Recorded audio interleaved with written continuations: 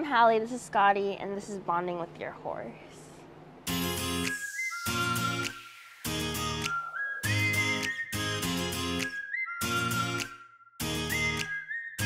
Scotty came the week that I came to TTR, and ever since then, I think we've been totally inseparable. At first, when I came, I didn't really understand how like horses work. I was new to them, and Scotty kind of opened my eyes to see that horses have a whole system in their mind, and they think just like us, and they work things out too, and they all have their own personalities.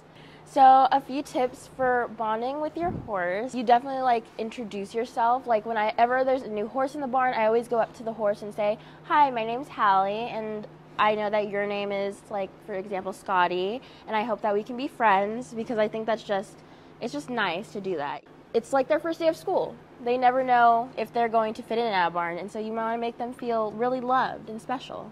Another tip that I would give for bonding with your horse is definitely like pet them a lot interaction is key. They thrive off of social interaction. Another thing is treats. Scotty is over here because he knows that I have carrots.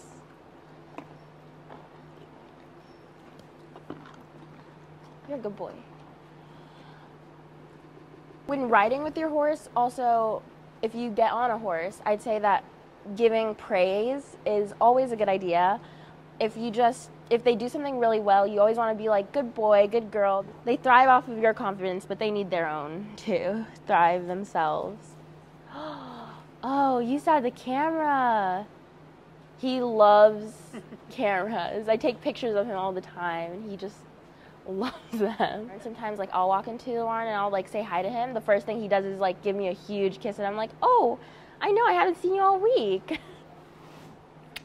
Thank you.